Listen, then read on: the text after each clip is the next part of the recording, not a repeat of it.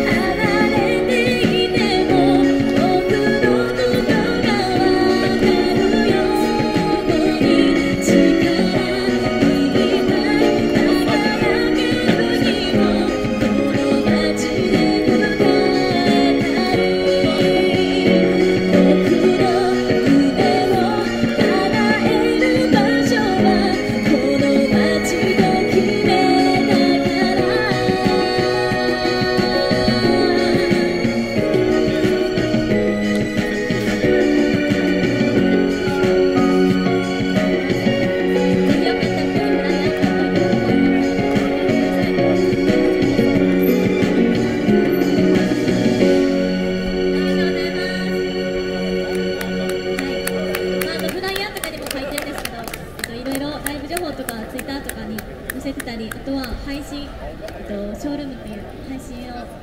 アプリをしてたりするのでよかったらぜひフライヤーから遊んでもらえたら嬉しいです。はいでは次の曲を聴きたいと思います。